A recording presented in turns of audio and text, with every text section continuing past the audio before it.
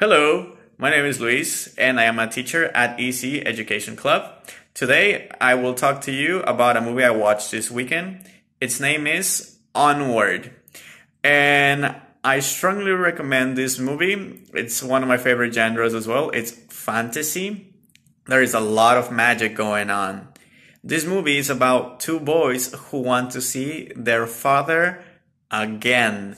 And it's very good.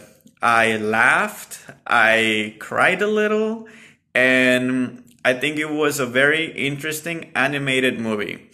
So if you like dragons, if you like magic, I think this is a movie for you.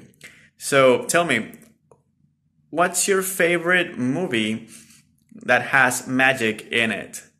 So write it down in the comments, I read them, and maybe you can recommend uh, a movie that I can watch.